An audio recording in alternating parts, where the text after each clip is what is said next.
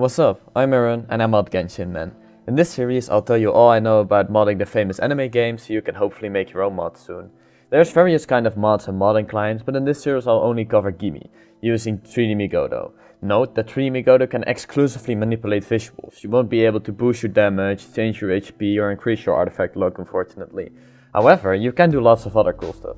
We'll do this using Blender, a free 3D modeling software. In this video I'll go over how mods work, what files they use and what file does what. I'll also cover what useful tools there are and where you can find them. I'll explain how to install them and what they do as well. Lastly, I'll cover some basic Blender stuff that you'll need later. Disclaimer, mods can get you banned. You're safe on the official server as long as no one catches a screenshot of both your UID and a mod loaded, but I strongly recommend using a private server. So, part 1. How do mods work? Mods vary in their structure and how they work, but the basic mod will look something like this. This is of a weapon called the Prototype Archaic. Uh, it's a mod that you can find uh, on my Gamebanana profile as well. As you can see, there's various files that all have their own function, and I will go over them real quick. If you're going to mod yourself, I recommend setting your file explorer to show file extensions, so the part after the period. This will help you find some stuff. So first off, the ini file. The ini file is a text file that tells 3D Migoto information about your mod. I'll explain how inis work later in greater detail in a later episode, so for now you can just leave them alone. They will be generated for you, so you don't have to write them yourself. The .dds files are direct raw surface files. It's, these are images uh, often used in game development. They can be opened with Paint.net or using Photoshop with a specific plugin. In the mods, uh, there are a few versions of uh, image files. First off, you have the diffuse files um, as you can see over here. Diffuse files are basically just color textures. They just tell the computer which part should have which color, which is pretty straightforward. You usually also have light map files. Light map files are files that tell the game what kind of shadow should be cast on an object. You can use it to make objects look more metallic or more like skin or more like, uh, for example, cloths.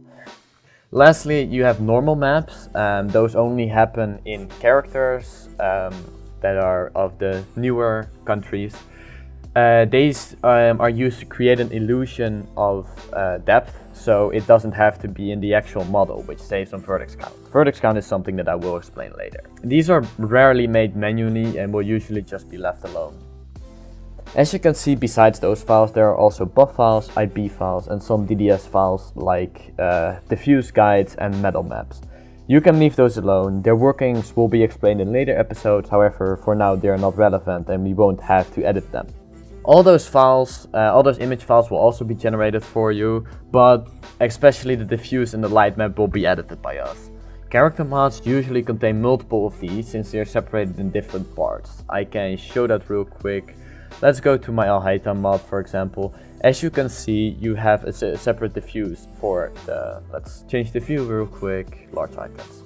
As you can see, um, we have an ini file, a buf file, an IB file. But instead of just one IB file, we have one for the body, um, we have one for the dress, and we have one for the head over here. Besides that, you also have a separate body diffuse, a body light map, but also body normal map, and also a dress diffuse, a dress light map, and a dress normal map. As you can see, uh, character mods have a little more files, but it's the same kind of files. They're just they're just more of them. Um, I'll cover the all this in more detail in a later video, but for now we can just look at some simpler versions of them. So, let's go ahead and start installing some tools we will need. If you go to the first link in the description, which will go to the releases of the Genshin Impact model importer made by Silent Night Sound, you will see that there is a few different files. Most importantly, you need the development version of Gimi. Um, you could use the playing version, but I recommend using the development version if you want to make mods. I presume that most of you already have a version of this uh, if you're already in the modding community, but if not, it's very straightforward. The GitHub will explain to you how to install 3D Migoto and it allows you to basically load mods into the game. Besides that, you also need a Blender plugin to be able to import and export mods. You can find it here, it's blender 3D Migoto gimi.py.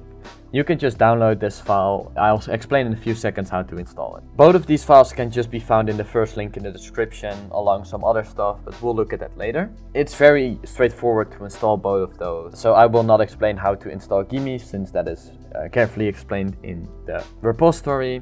To install the Blender plugin, you simply have to download it and as you can see I already installed it of course and it's over here the blender 3D Migoto gimi.py then if we go to blender which I presume you already have installed you can go over to edit preferences and there is a window with add-ons add-ons are basically plugins specifically for blender so if I enable add-ons enabled add-ons only then you can see that for me the 3D Migoto plugin is over here it's already there so how do you install a plugin? Basically, it's very straightforward. You just click the install button, you go to the specific location where you installed that specific uh, plugin. For example, it's over here. Of course, I've already installed it, but it now is uh, it's double. And if you then search for 3D Migoto, then you can see that it's there in the list. You might have to enable it because it could be disabled. And then you can just refresh. And it will be available for you. If you now go to File and go Import, then you will see that there are a few new 3D Migoto uh, options, both for import and export. So we will use those. Now I'm just gonna uh, explain some of the tools we use. So if you launch the Gimi development version, then you'll probably see the screen text on the top and bottom. You can disable this by pressing the numpad 0. If you don't have a numpad, I recommend you use a virtual keyboard since a lot of the numpad numbers will be useful for us later.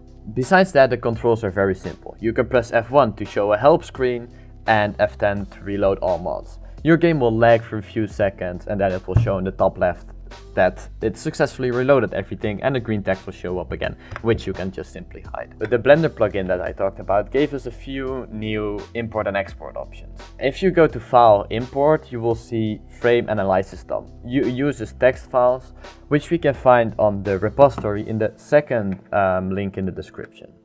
Over here is a very useful repository, again by Silent Night Sound, who gave us a lot of dumps already of a lot of characters.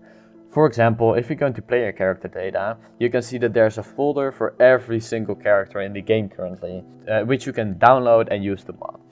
However, you cannot download individual folders in this view, but that's very simple to change.